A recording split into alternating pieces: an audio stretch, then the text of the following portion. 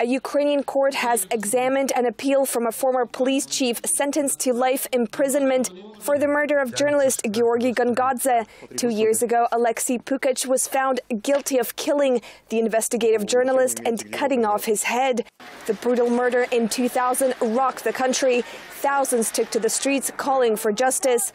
Former Ukrainian President Leonid Kuchma was prosecuted for ordering the execution style killing, but the case against him collapsed. This week will mark 15 years since Gongadze's murder.